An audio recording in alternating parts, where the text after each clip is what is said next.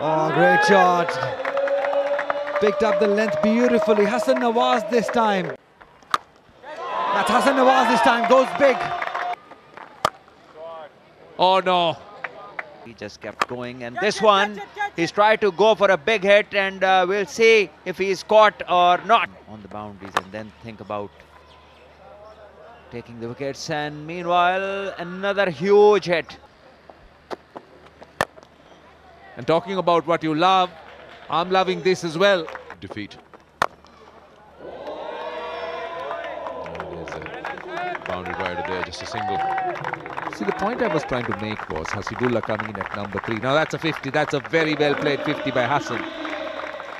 Came in at number three, and I thought that little face